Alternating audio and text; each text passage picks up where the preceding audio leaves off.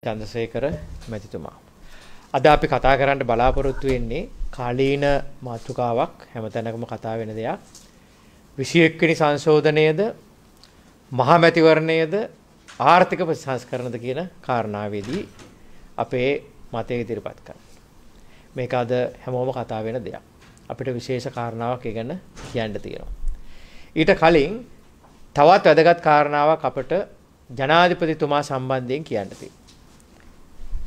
රටම ජනාධිපතිතුමාගෙන් ඉල්ලා සිටින්නේ පුළුවන් තරම් ඉක්මනට দূරය අතහැරලා ගෙදර යන්න කියලා.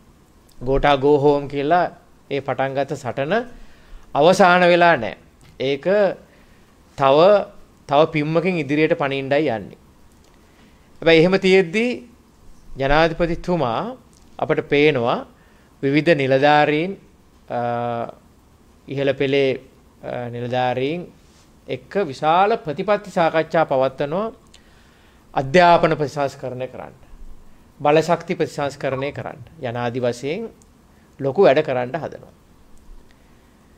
අපි ජනාධිපතිතුමාගෙන් ඉල්ලා සිටින්නේ මේ මේ රටේ බරපතල ප්‍රතිසංස්කරණය කරන්න තරම් ඔබතුමාට හැකියාවක් නැහැ. දැනුමක් නැහැ. දැන් ඔබතුමාට ඒ ලෙජිටිමසි එකක් නැහැ. ඒ කියන්නේ මිනිස්සුන්ගේ අනුකූලතාවක් නැහැ. ඒකට හේතුව තමයි කරපු හැම පියවරක්ම ගත්ත හැම වැඩක්ම වැරදි වැඩ, මෝඩ වැඩ, රට අගාධයට අදලා දාපු වැඩ. එම නිසා තවදුරටත් ඒවා කරන එක තේරුමක් නැහැ. උදාහරණයක් හැටියට ගත්තොත් එහෙම අද මේ ඇතුවේමින් තිබෙන ආහාර හිගයට, සාගතයට තනිකර වග කියන්න ඕනි රටේ පාලකයා වෙච්ච ගෝඨාභය රාජපක්ෂ ජනාධිපතිතුමා එතුමා එතුමාගේ අන්තවාදී කාබනික කල්ලියත් එක්ක කරපු මේ ගොවිතැන විනාශය නිසා ඇතිවෙච්ච ප්‍රශ්නයක් තමයි අද මේ රටේ ඇතුළලා තියෙන ආහාර හිගය. පිට රටින් ආහාර ගෙන්නන්න, හාල් ගෙන්නන්න ඩොලර් විශාල ප්‍රමාණයක් වැය වෙන්නේ ඒ ගෝඨාභය රාජපක්ෂ ජනාධිපතිතුමා ගත්ත උද්දච්ච හිතුවක්කාර අමනෝඥ තීන්දුව නිසා තමයි ඒක උනේ. ඒ සමාව දිය නොහැකි වරදක්. ඒ වගේම තමයි එතුමා ගේන්න හැදුවා අධ්‍යාපන ප්‍රතිසංස්කරණයේ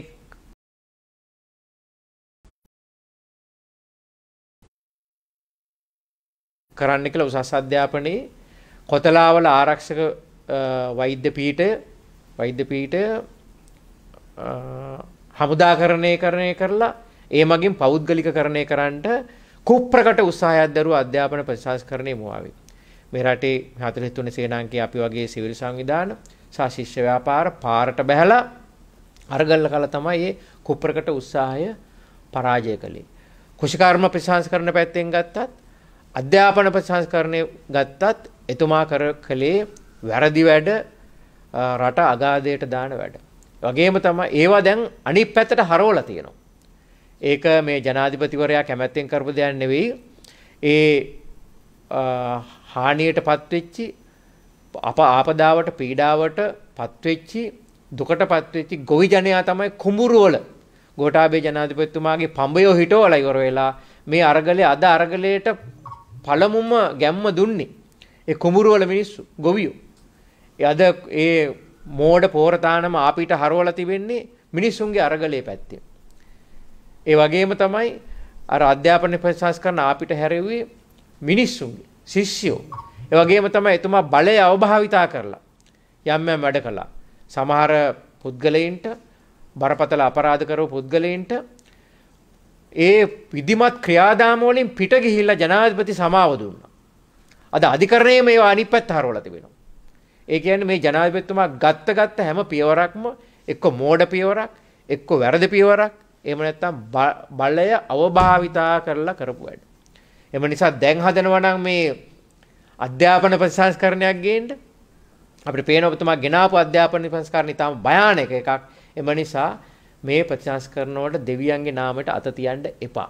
ඒවා කරන්න ඊළඟ ආණ්ඩුවක් ආවට පස්සේ ඒ ජනතාවගේ කැමැත්තෙන් අනුමැතියකින් එන ජනතා ලෙන්ගතු ආණ්ඩුවකට ඒවා ඉඩ දීලා ඉවර වෙලා අර කරපු වැරදි වැඩ ටික ආපස්සට හරවන්න දැන් මේ සමාජයේ වැඩ කරමින් යනවා ආන්නේවට උදව් දෙන්න. බලය අවභාවිතා කරපු දේවල් නැවත වතාවක් රිවර්ස් කරන්න උදව් කරපු මෝඩ වැඩ වලින් සමාජයට විශාල හානියක් වෙලා තියෙනවා. ඒ නිසා ඒවා පිළිසකර කරගන්නට සමාජයට උදව් දෙන්න කියලා තමයි 43 සේනාංකය හැටියට ජනාධිපති ගෝඨාභය රාජපක්ෂ මැතිතුමාගෙන් අපිට ඉල්ලා සිටින්න වෙන්නේ අධ්‍යාපනය නම් කාබනිකකරණය කරන්න ලෑස්ති වෙන්න එපා. මේ ඇවිල්ලා තියෙන අරගලයට වඩා විශාල බරපතල අරගලයක් එන්න පුළුවන්. රටට දැවැන්ත අධ්‍යාපන ප්‍රතිසංස්කරණයක් අවශ්‍යයි. නමුත් ඒ ප්‍රතිසංස්කරණය කරන්න පුළුවන් කරන්න පුළුවන් හැකියාවක් දැනුමක් වාතාවරණයක් සහ කණ්ඩායමක් ජනාධිපති ගෝඨාභයට නැහැ කියන එක අපි කියන්නේ එම නිසා මේ විනාශ කරන්න හදන්න එපා කියලා අපි ඉල්ලා සිටින්න කැමතියි. එහෙමනම් අපි අපේ ප්‍රධාන මාතෘකාවට අපි එනවා. අපි 21 වෙනි ආණ්ඩුක්‍රම ව්‍යවස්ථා සංශෝධනය ලබන සතියේ පාර්ලිමේන්තුවට එයි කියලා අපි විශ්වාස කරනවා. අනිවාර්යයෙන්ම විජේදාස රාජපක්ෂ මැතිතුමා ඉදිරිපත් කරපු ඒ කෙටුම්පත තව සංවර්ධනය වෙන්න ඕනි, දියුණු වෙන්න ඕනි, අලුත් අංග එකතු වෙන්න ඕනි. අද 43 සේනාංකය ඇතුළු විශාල සිවිල් සංවිධාන ගණනාවක්, දේශපාලන පක්ෂ ගණනාවක් ඒ වෙනස් වෙන්න ඕනි තන් යෝජනා කරලා තිබෙනවා. එම නිසා මේක දියාරු නොකර වඩා ශක්තිමත් කරලා මේක පාර්ලිමේන්තුවට ඉදිරිපත් වෙන්න ඕනේ. පාර්ලිමේන්තු මන්ත්‍රීවරුන්ගේ යුතුයකම තමයි මේ වෙලාවේ එය සම්මත කරන්නට මැදිහත් වෙන්න. මෙන්න මේකෙදි විශේෂයෙන්ම අපිට පේනවා අපි ගියසරේ ගියසරේ ප්‍රොත්සාහකච්ඡාවේදී අපි මේක මතු කරලා පෙන්නවා මේ පොහොට්ටු පක්ෂේ පොහොට්ටු පක්ෂේ එක කොටසක් එක කොටසක් පමණක් මේ වන විට මාලිගා ඇතුලේ හැංගිලා, ගෙවල් ඇතුලේ හැංගිලා ඉවර වෙලා කටුකුටු ගාමින් මේ විශේෂඥ සංශෝධනයේ පරාජය කරන්නට ලොකු මන්ත්‍රණ කුමන්ත්‍රණ කරමින් තමයි ඉන්නේ. ඒවා ඒවාට නායකත්වය දෙන්නේ බැසිල් රාජපක්ෂ මැතිතුමා. දිත්ත පුරවැසි භාවය සහිත බැසිල් රාජපක්ෂ මැතිතුමා තමයි ඒ ඒවට නායකත්වය දෙන්නේ. හැබැයි අපි දන්නවා පොහොට්ටු පක්ෂයේ අද විශාල පිරිසක් ඉන්නවා ඒ 21 වෙනි ව්‍යවස්ථා සංශෝධනය සම්මත කරන්න වැඩ කරන්න. ඇයි එහෙම වෙලා තිබෙන්නේ? අපි දන්නවා මේ රාජපක්ෂලා විශාල බොරුවක් කරලා තමයි පොහොට්ටු පක්ෂයේ මන්ත්‍රීවරුන්ගේ කැමැත්ත ඔය 20 වෙනි සංශෝධනයට ගත්තේ. ඒ කියන්නේ ඒගොල්ලන්ට කිව්වා අපි 18 වෙනි සංශෝධනයට ඉස්සෙල්ලා ගිහිල්ලා ඉමු. මේ 19 ගොඩක් ප්‍රශ්න තිබෙනවා. ඒ නිසා 18ට ගිහිල්ලා අපි අලුත් ආණ්ඩු ක්‍රම ව්‍යවස්ථාවක් ගේනවා. ඒකෙදි අපි ඔය ඔක්කොම කොමිෂන් ගේනවා ජනාධිපති බලතල අඩු කරනවා අරෝමේවා කියලා ඔක්කොම මහා විශාල බොරුවක් කරලා අර රොමේ සිල්වා කියලා කමිටුවපත් කළා කවුරුවත් දන්නේ නැති හුදකලා දැනක බණ්ඩාරනායක සම්මන්ත්‍රණ ශාලා කාමරයක රැස්වීමෙන් ආන්දු කොමස්තාවක් කුරුට ගෑවා. නමුත් ඒව ගෙනාවේ නැහැ. ආන්නේ නොගෙනෙන ආණ්ඩු කොමස්තාව පෙන්නලා තමයි බොරුවක් කරලා තමයි පෝට්ටු මන්ත්‍රීවරුන්ගේ ඡන්දය ගත්තේ ඔය ඒකාධිපති 20 වෙනි සංශෝධනයේ ගේන්න. මේක මේ මම කියන කතාවක් නෙවෙයි. ගෙවින්ද කුමාරතුංග මන්ත්‍රීතුමා කෙලින්ම ප්‍රකාශ කළා අපි මේ 20ට ඡන්දය දුන්නේ අපට පොරොන්දු වුණා වෙන ආණ්ඩු කොමස්තාවක් ගේනවා කියලා. ප්‍රේමනාත් දොළවත්ත මන්ත්‍රීතුමා පැහැදිලිවම කිව්වා අපට පොරොන්දු වුණා වෙන ප්‍රජාතන්ත්‍රවාදී ව්‍යවස්ථාවක් ගේනවා කියලා ඒකට ගරු කරමින් තමයි අපි ඡන්දය දුන්නේ කියලා. ඉතින් ඒ රාජපක්ෂලාගේ පොරොන්දු ඒ විදිහට විශ්වාස කරපු මේ മന്ത്രിවරුන්ට දෙයියන්ගෙම පිහිටයි. නමුත් මේ മന്ത്രിවරු ඇත්ත කතා කරන එක ගැන අපි සතුටු වෙනවා. ඒගොල්ලන්ට බෑ 21කට චන්දිනෝදී ඉන්න. රාජපක්ෂලා මේ වගේ වැඩක් කළා මීට කලිනු. ඒ කියන්නේ මහින්ද රාජපක්ෂ මැතිතුමා පළවෙනි වතාවටත් 2005 දිත් ඒ වගේම 2010 දිත් බලයටපත් උනේ රටට අලුත් ආණ්ඩුක්‍රම ව්‍යවස්ථාවක් ගේනවා කියලා. ප්‍රජාතන්ත්‍රවාදී ආණ්ඩුක්‍රම ව්‍යවස්ථාවක් ගේනවා කියලා. ඒ වාර මහින්ද චින්තනය කියන මේ පොතේ එහෙම ලියලා තිබුණා. ඒවා හදන්න අපි දායක වෙච්ච හින්දා අපි දන්නවා හොඳටම ඒවා ලිව්වා අලුත් ආණ්ඩුක්‍රම ව්‍යවස්ථාව ගේනවා කියලා. නමුත් මොකද කළේ? ඒ බොරුව පටන් ගත්තෙම අලුත් ආණ්ඩුක්‍රම ව්‍යවස්ථාවක් ගේනවා කියලා 18 වෙනි සංශෝධනය ගෙනාවේ.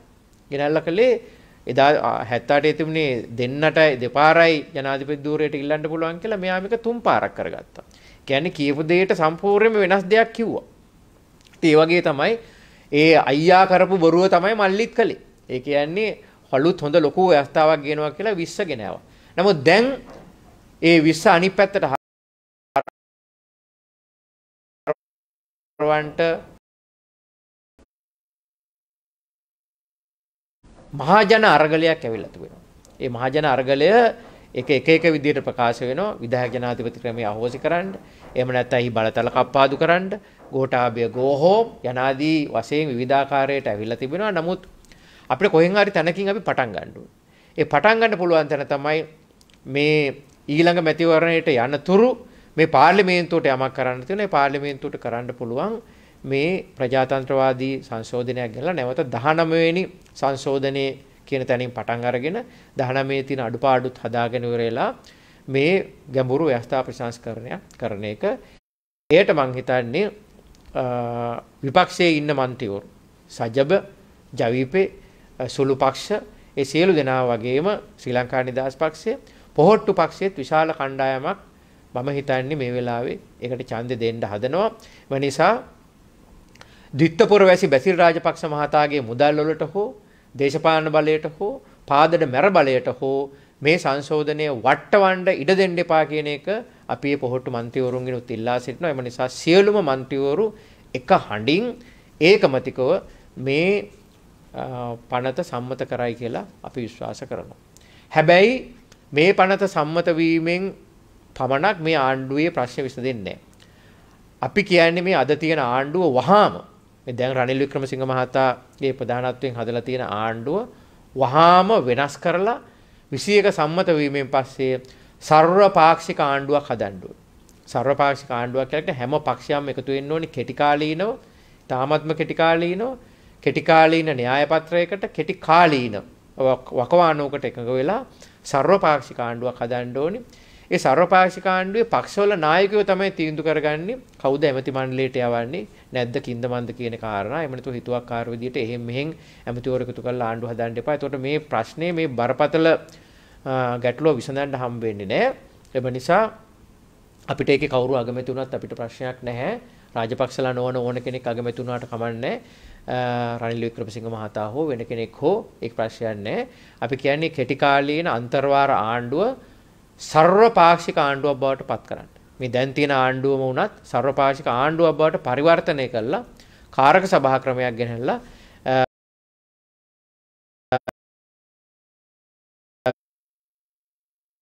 විසියක විසියකෙන් ඇතිවෙන්නා වූ ප්‍රජාතන්ත්‍රවාදී සන්දර්භය යටතේ කෙටි කාලින ආණ්ඩුවක් පවත්වාගෙන යන්න එහෙම කළොත් තමයි මේ වර්තමාන ආර්ථික අර්බුදය විසඳන්නට ජාත්‍යන්තර සහයෝගයත් ඒ වගේම දේශීය වශයෙන් ජනතා සහයෝගයත් ලබාගත හැකි අවම දේශපාලන ස්ථාවර භාවය ඇති වෙයි.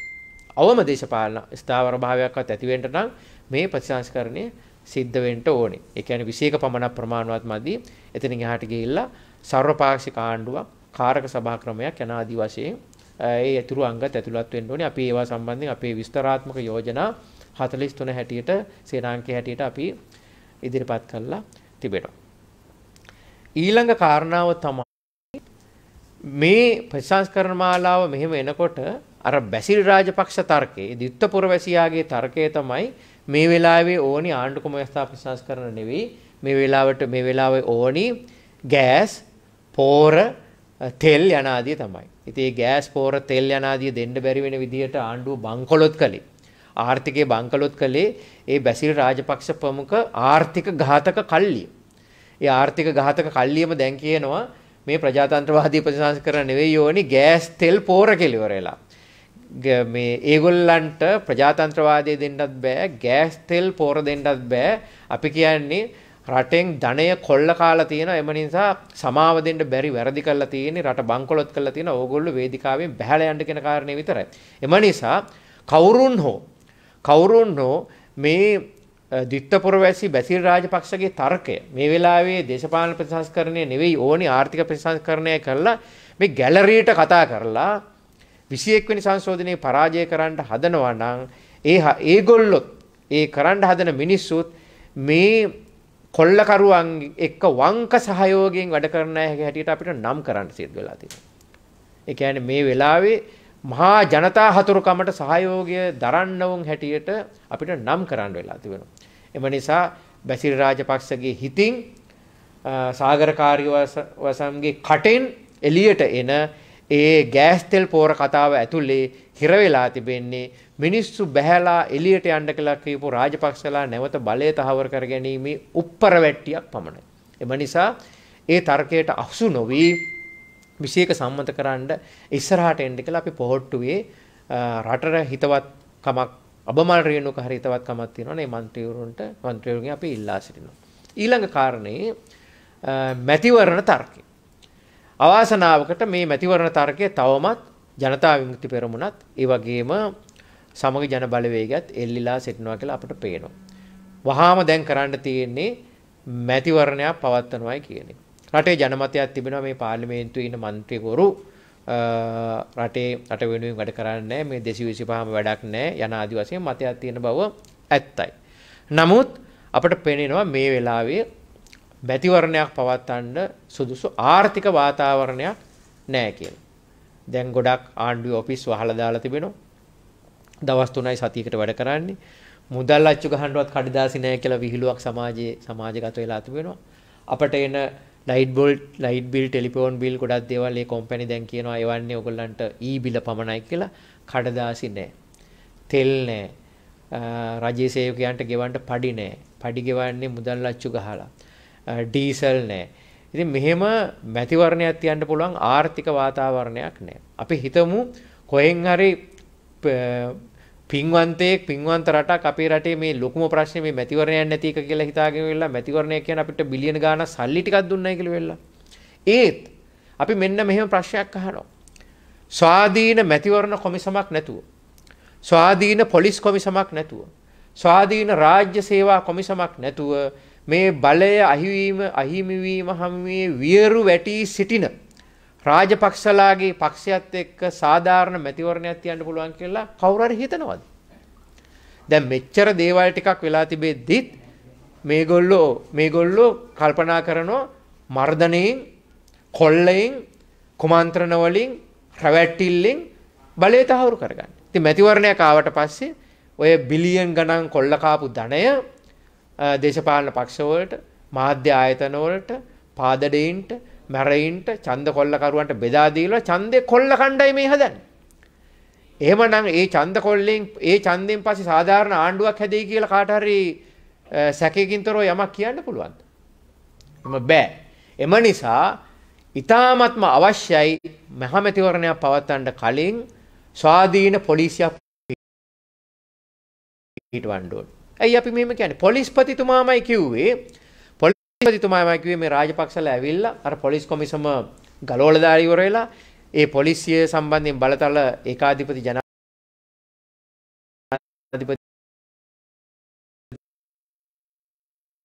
කෙනෙක් අතර පවරගත්තට පස්සේ පොහොට්ටුවේ මන්ත්‍රීවරුන්ට ඕනි විදිහට තමයි OIC ලපත් කරගත්තේ කියලා. පොලිස්පතිතුමාම කිව්වා. මේ මම නෙමෙයි කියන්නේ පොලිස්පතිතුමාම කිව්වා පොහොට්ටුවේ මන්ත්‍රීවරුන්ට ඕනි OIC ලා තමයි පත් කරගත්තේ කියලා. හරියම අධ්‍යාපන සමක් නැහැ. හරියමං සම්මුඛ පරීක්ෂණයකට ඒ අය ගිහිල්ලා නැහැ. ඒගොල්ලෝ පත් කරගත්ත ආකාරය පිළිබඳ තොරතුරු දැනීමේ කොමිසමට කින් තොරතුරු හොයාගන්නත් බැරි වෙලා තිබෙනවා. සම්පූර්ණයෙන්ම දේශපාලන ග්‍රහණයට ගත්ත පොලිසිය. ඉතින් ඒක මැතිවරණ සමයේදී නොවේයි කියලා කාටවත් කියන්න පුළුවන් කමක් තියෙනවා. මේ අලුත් පොලිස් ඇමති ටිරාන්නලස් ඒක සාධාරණයක් ඉෂ්ට කරයි කියලා අපිට කියන්න පුළුවන්ද? එහෙම බෑ.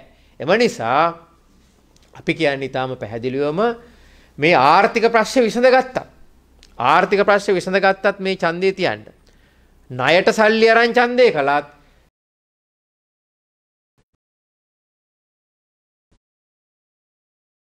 මේ 21 ප්‍රතිසංස්කරණය අවශ්‍යයි ඡන්දයට කලින්. ස්වාධීන කොමිසම් පිටන්න ඕනේ සාධාරණ මැතිවරණයක් තියන්න. එහෙම නැත්නම් නැවත වතාවක් ඒ දාමරික පාදඩ කල්ලියා පාර්ලිමේන්තු බලයල් ගත්ත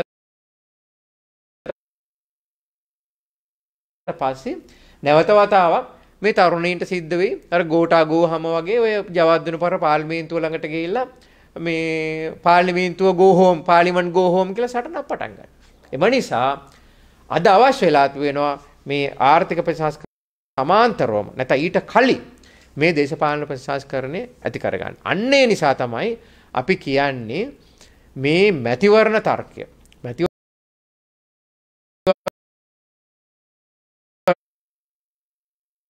මැතිවරණ තර්කය කියන එක මේ වෙලාවේ ඉදිරිපත් කරන්නේ රාජපක්ෂලාට වාසි වෙන තැනකින්. රාජපක්ෂලාටත් ඕනි ඒක තමයි.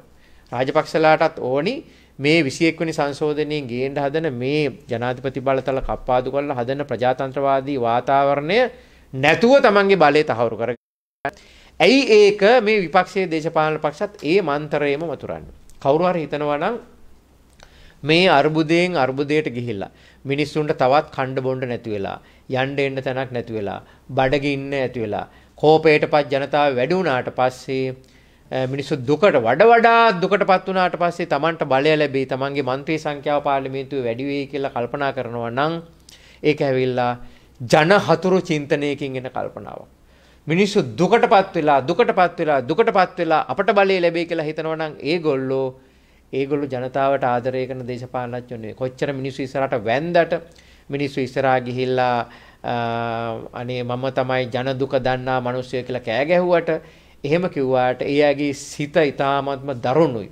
රෞද්‍රයි. අපි අහන්නේ අමු සොහොනක කිරළු දරා පලක් වෙද බොලව් කියලා. ඒ කියන්නේ ජන දුක වැඩි කරලා වැඩි කරලා අපිට බලය ගන්න ඕනේ කියන තර්කය කවුරු හරි දේශපාලනඥයෙක් ගේනවා නම් නැත්නම් ඒක ව්‍යංගයෙන් ප්‍රකාශ කරන ආකාරයට තමන්ගේ උපාය මාර්ග සකස් කර ගන්නවා නම් ඒ දේශපාලඥයෝ ප්‍රතික්ෂේප කරන්න කියලායි අපි ඉල්ලා සිටින්නේ. එම නිසා මේ වෙලාවේ කරන්න තියෙන හොඳම දේ තමයි 21 වෙනි සංශෝධනය සම්මත කරලා සර්වපාක්ෂික ආණ්ඩුවක් පිහිටවලා ඒ ආණ්ඩුවේ වගකීම පාර්ලිමේන්තුවේ සියලු දෙනාම ධර්මින් පක්ෂ විපක්ෂ කියලා ભેදයක් නැතුව සියලු දෙනාම తాවකාලික ආණ්ඩුවකට එකතු වෙලා පුළුවන් ලැබෙන පළවෙනි අවස්ථාවේදීම මහමැතිවරණට ගිහිල්ලා ජනතාවට තමන් කැමති කෙනෙක් බලයටපත් කරගන්නට අවස්ථාව සලසා දෙනවා. ඉතින් මේක අපි 43 සේනාංකයේ කවදාවත් ගැලරියට කතා කරන්නේ ඔය මෝඩ පෝර තාම ගේනකොට අපිට මතකයි ගොඩාක් අය කිව්වා නෑ පෝර තානම හොඳයි. ඔය කාබනික පෝර වැඩේ තමයි කරන්න ඕනි. ඒක තමයි රටේ වෙන්න ඕනි. නමුත් මේක වෙලාව නෙවෙයි. මෙහෙම නෙවෙයි. මේක මෙච්චර හදීසියෙන් මේක කරන්න ඕනේ නැහැ කියලා වගේ දියාරු මත තමයි කිව්වේ. අපි තමයි කෙලින්ම කිව්වේ නෑ මේක වැරදි. රසායනික පෝර තියෙන්න ඕනි කියලා කතා කළේ අපි තමයි. අපි කිව්වේ කාබනික පෝර කිසියම් ප්‍රතිශතයක් තියෙන්න ඕනේ. රසායනික පෝර සහිතව වාණිජ කුෂිකර්මයේ තියෙන්න ඕනේ. මිශ්‍ර ගොවිතැන තියෙන්න ඕනේ. ඒක තමයි ප්‍රතිපත්තිය. අපේ රටට යන්න පුළුවන් ප්‍රතිපත්තිය ඒකයි. අපි ඒක බය නැතුව කිව්වා. අධ්‍යාපන ප්‍රතිසංස්කරණ වෙනුවෙන් අධ්‍යාපන මිලිටරිකරණය ගේන්න හදනකොටත් ගොඩක් අය ඔහොම කිව්වා මේ ඩොලර් ඉතුරු කරගන්න ඕනි. අරකද මේකද කියලා වෙලා අධ්‍යාපන මිලිටරිකරණය වෙනුවෙන් කතා කළා. අපි කිව්වා නෑ වැරදි. රටේ අධ්‍යාපනය රටේ අධ්‍යාපනය ලාභ ලබන කර්මාන්තවලට පත් කරන්න එපා. ඒක ලෝකෙම ලෝකෙම පිළිගත් අධ්‍යාපන ප්‍රතිපත්තියන් වලට විරුද්ධයි කියන එක. එහෙම ගැලරියේ මතය නැතුව අපි වෙනස් මත ප්‍රකාශ කළේ යථාර්ථවාදීව තක්සේරු කළා. ඒ වගේම තමයි මේ වෙලාවේ ගැලරිය පිනවන්න මැතිවරණ ඉල්ලුවාට අපි කියන්නේ 21 ගෙනහැල්ලා. ස්වාධීන කොමිසම් පිහිටවලා යහපත් වාතාවරණයක් හදාගත්තට පස්සේ මැතිවරණ ඉල්ලන්න. ඒක තමයි කරන්න පුළුවන් හොඳම විදිය. ඒක තමයි 43 සේනාංකයේ මතය. ඒ වගේම තමයි අපි මේ සම්බන්ධයෙන් විශාල මේ ජනාර්ගලය මේ කවුරුත් හිතනවා නම් නතර වෙලයි කියලා ඉවරලා ඒක මුලාවක්. සාපේ විභාගය නිසා තමයි අරගලේ නැති වෙලා තියෙන්නේ. නැතු රටේ සාපේ ඉවර වෙලා නැහැ. රටේ සාපය තියෙනවා හැමම. නිසා ඒක දුරුකරන්න ජනාර්ගලේ මුවහත් වෙලා යයි 43 සේනාංකය රටේ සිවිල් සංවිධාන වෘත්තීය සමිති වෘත්තික සංවිධාන ගොඩක් එක්ක මේ 21 වෙනි සංශෝධනය දිනවන්නටත් වගේම තමයි අත්නෝමතක විදිහට මේ ආර්ථික ප්‍රසංස්කරණ ආණ්ඩුව වෙනුවට අන්තෝමිතික බදු ගහන ආණ්ඩුව වෙනුවට අත්නෝමිතික ආර්ථික තීන්දුව ගන්න ආණ්ඩුව වෙනුවට කාටත් සහයෝගයෙන් වැඩ කරන්න පුළුවන් සර්වපාක්ෂික ආණ්ඩුවක් වෙනුවෙන් අපි පෙනී සිටින්නේ. ඒ වෙනුවෙන් වැඩ කරන අපේ මහජන පෙරමුණේ වැඩ කරන බන්දුලි චන්ද්‍රසේකර මැතිතුමා ඊළඟ අදහස් දැක්වීම ඔබට ඉදිරිපත් කරයි. ඊට පස්සේ අපි ඔබේ ප්‍රශ්න වලට පිළිතුරු සපයන්න බලාපොරොත්තු වෙනවා. මගේ අදහස් දැක්වීම මෙතකින් අවසන් කරනවා. බොහොම ස්තුතියි.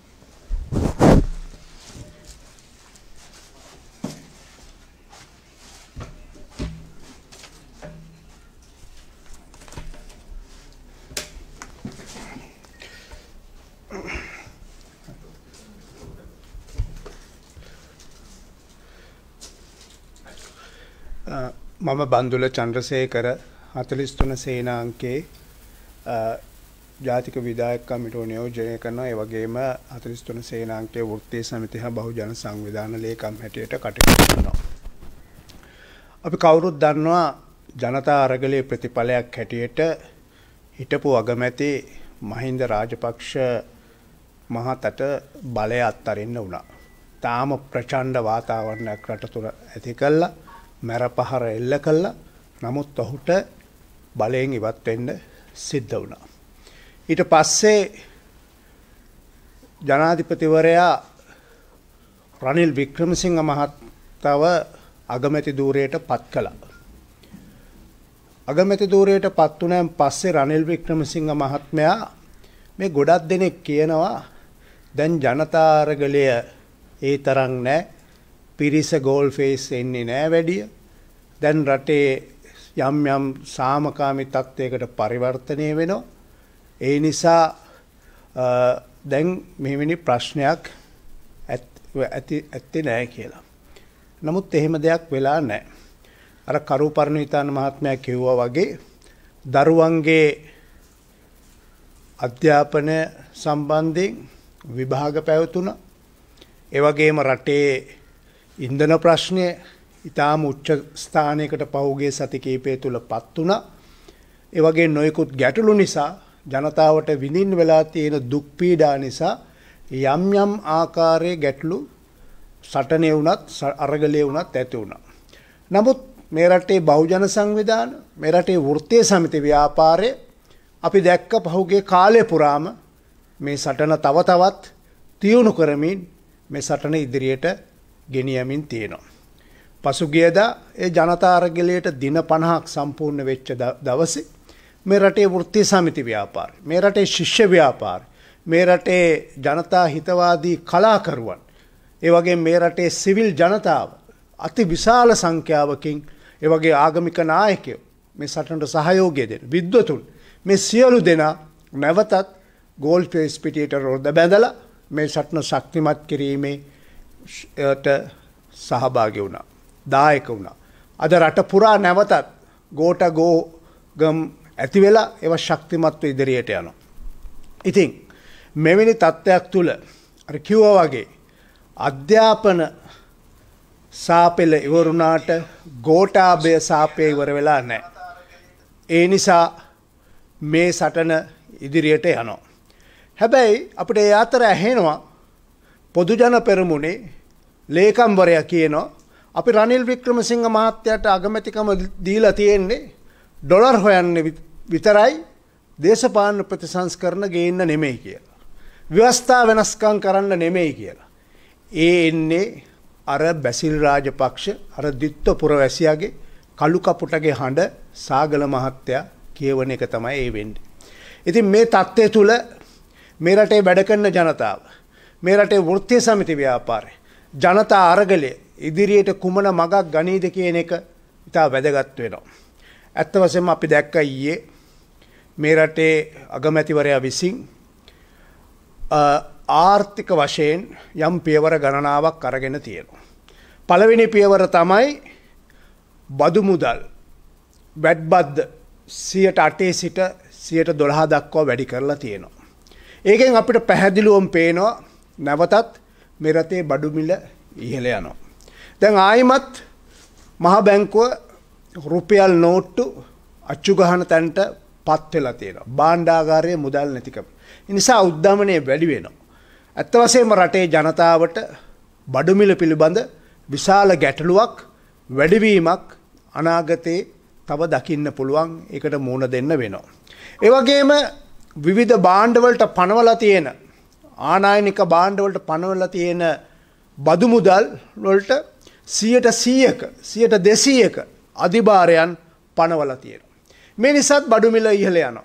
විශේෂයෙන් මධ්‍යම පන්තියට තමන්ගේ පාරිභෝ පාරිභෝජනයට අවශ්‍ය කරන බඩු භාණ්ඩ තමන්ගේ ජීවිත පවත්වා ගැනීම සඳහා යන බඩු භාණ්ඩ වල මිල ඉහළ යෑමක් සිද්ධ වෙනවා. මේක තමන්ගේ වැටුපට බලපානවා, තමන්ගේ ආදායම් තත්ත්වයට බලපානවා.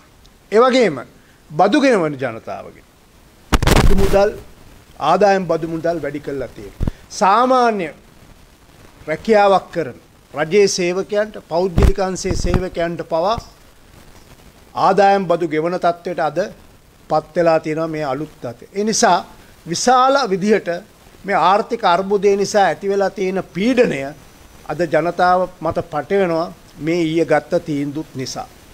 ඒක අපිට දකින්න. අපිට ඒක වසන් කරන්න බෑ. නමුත් අපි අමතක කරන්න එපා අර ගෝඨාභය ජනාධිපතිතුමා බලයට ඇවිල්ලා එතුමා කරපු මෝඩ වැඩවලින් එකක් තමයි රජයේ බදු ආදායම නැති කරගත්ත එක. එදා එක පාරටම ඒ බදු මුදල් අඩු කල්ලා අර තමන් වටේ හිටන ව්‍යාපාරික ප්‍රජාවට බදු සහන දෙන්න ගිහිල්ලා රුපියල් බිලියන හයසි අසුවකට ආසන්න මුදලක් වාර්ෂිකව ඒ මුදල නැති කරගත්ත බාණ්ඩාගාරය. ඒ නිසා තමයි අපේ රජයේ ආදායම අඩුවීම නිසා තමයි අර ජාත්‍යන්තර රේටිං වලින් අපි ඉස්සල්ලම් පහත වැටෙන්න ගත්තේ. ඒ නිසා තමයි මේ ආර්ථික අර්බුදය තව තවත් උද්දීපනය වෙලා තියෙන. ඒ නිසා මේ ආදායම් ආදායම වැඩිකර ගැනීම සඳහා යම් පියවර ගන්න මොනම ආණ්ඩුවකට හරි සිද්ධ වෙනවා. ඒක රනිල් වික්‍රමසිංහ වෙන්න පුළුවන් එහෙම නැත්නම් වෙන කෙනෙක් වෙන්න පුළුවන් ඒක කරන්න වෙනවා. හැබැයි ඒකෙන් මේ රටේ ජනතාවට විශාල පීඩනයක් ඇති වෙලා ඒ පීඩනය නිසාම අද වෘත්තීය සමිති ව්‍යාපාරයට විශාල අභියෝගයක් එල්ල වෙලා තියෙනවා මේ ජනතාව විදින දුක් පීඩාව වෙනුවෙන්. ඒ ජනතාව මුණ දෙන ප්‍රශ්න වෙනුවෙන් හඬක් නගන්න සටනක් කරන්න. ඒ වගේම අපි දන්නවා අද පෞද්ගලික අංශයේ බොහෝ ආයතන. සමහර වෙලාව ඒ ආයතනවල සේවකයන් වෘත්තීය සමිතිවල සංවිධානය වෙලා නැහැ. කිසිම සංවිධාන ශක්තියක් නැහැ පොඩි පොඩි ආයතන විශේෂයෙන් ආනයන අපනයන ශ්‍රේෂ්ත්‍රයේ මත රඳා පැවතිලා තියෙන ආයතන වලට අද විශාල ප්‍රශ්නයක් වෙලා තියෙනවා මේ LC ඕපන් කරගන්න බැරුව Tamanට අවශ්‍ය අමුද්‍රව්‍ය ගෙන්න ගන්න බැරුව අද නිෂ්පාදන කටයුතු ඇන හිටලා තියෙනවා. ඒ ආයතන වල ඵලදායිතාව අඩු වෙලා තියෙනවා. නිෂ්පාදනය අඩු වෙලා තියෙනවා.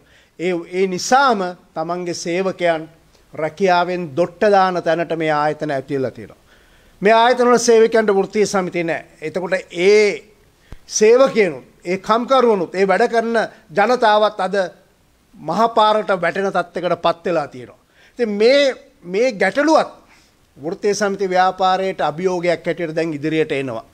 මේ සටන මේ ගෝඨාභය සාපය අද විවිධ පැතිවලින් විවිධ ආකාරයෙන් පුපුරන්න පටන්ගෙන තියෙනවා. ඉතින් ඒ නිසා මේ රටේ බහුජන ව්‍යාපාරවලට මේ රටේ ජනතාවගේ අයිතිවාසිකම් වෙනුවෙන් පෙනී සිටින ව්‍යාපාරවලට මේ රටේ වැඩ කරන ජනතාවගේ අයිතිවාසිකම් වෙනුවෙන් පෙනී සිටින ව්‍යාපාරවලට මේ අභියෝගයට මුහුණ දෙන්න සිද්ධ වෙනවා. අපි කොහොමද එතකොට මේකට මුහුණ දෙන්න වෙන්නේ? මේකට මුහුණ දෙන්න වෙන්නේ මේ රටේ නැවත මේ ආර්ථිකය ශක්තිමත් කරන්න පුළුවන් රටේ ප්‍රතිරූපය ගොඩනැගී ගැනීමෙන් විතරයි. රටේ ප්‍රතිරූපය ගොඩනගාගන්නේ කොහොමද? රටේ දේශපාලන ස්ථායි තත්ත්වයක් ඇති කරගන්නේ කොහොමද? එහෙම වුණොත් තමයි ඒ ස්ථාවරභාවය ඇති වුණොත් තමයි ආර්ථික ස්ථාවරභාවයක් ඇති වෙන්නේ. එහෙමනම් යම් ප්‍රමාණයකට දේශපාලන ප්‍රතිසංස්කරණ සිද්ධ කළා මේ රටේ අර ගෝඨාභයගේ පෞල් පාලනයෙන් ඒකාධිපති පාලනයෙන් දුර්වල ආණ්ඩුකරණයෙන් මේ රට ගලවා ගැනීමේ මෙහෙයුම දියත් කරන්න වෙනවා. ඒ නිසා 43 සේනාංක හැටියට ඒකට තියෙන මුල්ම පියවර හැටියට අපි විසියෙක්වෙනි සංශෝධනය. ශක්තිමත්ව ඉදිරියට ගේන්න. ශක්තිමත්ව ඉදිරියට ගේන්න අපි සහයෝගය දන් දක්වුණ. එනිසා අපි හතුරිස්තුන සේනාංක හැටියට කියනවා මේ රටේ වෘත්තේ සමිති ව්‍යාපාරයට මේ රටේ බහුජන සංවිධානවලට ඉල්ලීමක් කරනවා. විසියෙක්වෙනි සංශෝධනය ශක්තිමත්ව ඉදිරියට ගෙනීම ප්‍රාථමිකයි. එක මූලික පියවරක්. එහෙම උනොත් තමයි මේ ආර්ථික පීඩනයෙන් බැටකන ජනතාවට වුණත් අපිට උත්තරයක් හොයන්න පුළුවන් වෙන්නේ කියලා. කොහොමද ඒ උත්තරේ හොයන්නේ? ඇත්ත වශයෙන්ම 40 21 වෙනි ප්‍රතිසංස්කරණය සාර්ථකව අපි ජයග්‍රහණය කළොත් අර ද්විත්ව පුරවැසියාගේ බාධාවලට ඉඩ නොදී ඒක ශක්තිමත් ගෙනාවොත් තමයි අපිට ඊළඟට සර්වපාක්ෂික නියම සර්වපාක්ෂික ආණ්ඩුවක් මේ පාර්ලිමේන්තුව තුළ ගොඩනගා ගන්න පුළුවන්. කාරක සභා ක්‍රමයක් අපට ගොඩනගා ගන්න පුළුවන්. අධීක්ෂණ කාරක සභා ක්‍රමයක් ගොඩනගා ගන්න පුළුවන්. ඒ වගේම විසියෙක්වනි සංශෝධනයෙන් ඉදිරිපත් වෙලා තියෙනවා. ජාතික සභාවක් ඒකට අනපනතක් ගෙනල්ල. ඒ ජාතික සභාව ශක්තිමත් කරලා තිබ්බොත් පාලිමේන්තු ඉන්න මන්ත්‍රීවරු පමණක් නෙමේ. දේශපාලඥයෝ පමණක් නෙමේ වෘත්තී සමිති නායකයින්ට විද්වතුන්ට ඒ ජාතික සභාව නියෝජනය කරලා ඇත්ත වශයෙන්ම රටට අවශ්‍ය වැඩපිළිවෙලක් අවම ආර්ථික වැඩපිළිවෙලක් හදාගන්න පුළුවන් වෙන්නේ. එහෙම ආර්ථික වැඩපිළිවෙලක් හදාගත්තොත් විතරයි මේ ආර්ථික පීඩනයට මූුණ දෙන්න පුළුවන් විසදුමක් ජනතාවට විසදුමක් අපිට හොයාගන්න වෙන්නේ. අපි දන්න ඕනම රටක් මෙවැනි තත්ත්වයෙන් බංකොලොත් වනාට පස්සේ. මෙවැනි ආර්ථික පීඩනය ලක්වුණාට පස්සේ.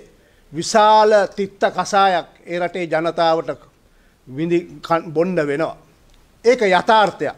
එක ග්‍රීසියත් එහෙමයි ආජන්ටිනාවත් එහෙමයි ලෙබනනෙත් එහෙමයි. අද ලංකාව ඇතිවමින් පවතින්නෙත් ඒකයි.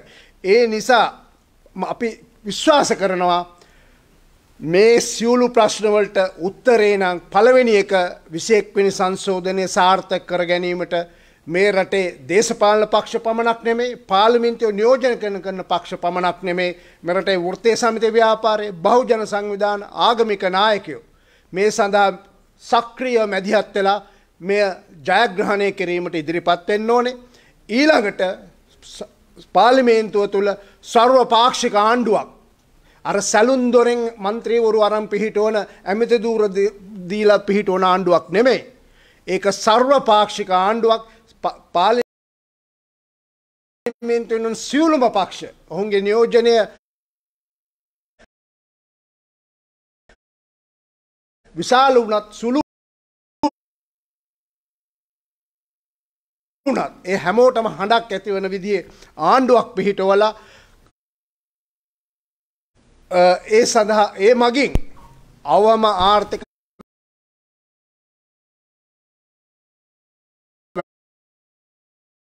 වැඩපිළිවෙලක් පොදු එකඟතාවෙන් ඇති කරගෙන ඒ කටයුත්ත කිරීම තමයි තියෙන උත්තරේ. වෙන උත්තරයක්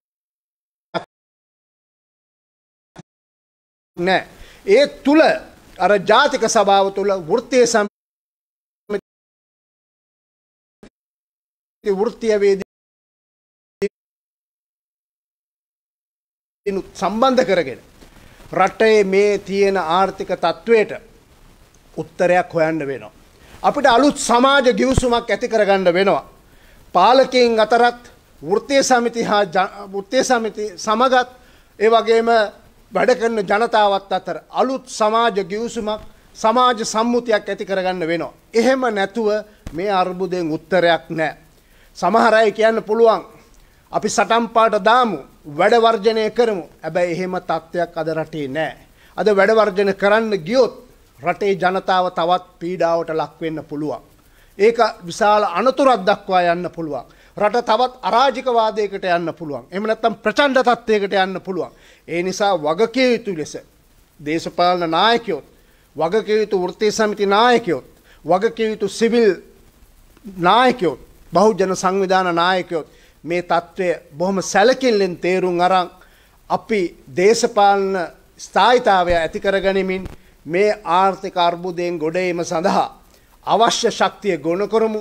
ඒ සඳහා අරගලයත් පාර්ලිමේන්තුවත් අනිත් සියලුම සටන් පෙරමුණුත් යොදා ගනිමු කියලා ඉල්ලා සිටිමින් මගේ වචන ස්වල්ප අවසන් කරනවා. ප්‍රශ්න තියෙනවද? ප්‍රශ්න තියෙනවද? තියෙනවා නම් අහන්න. ආ ආ. ආ. හරි.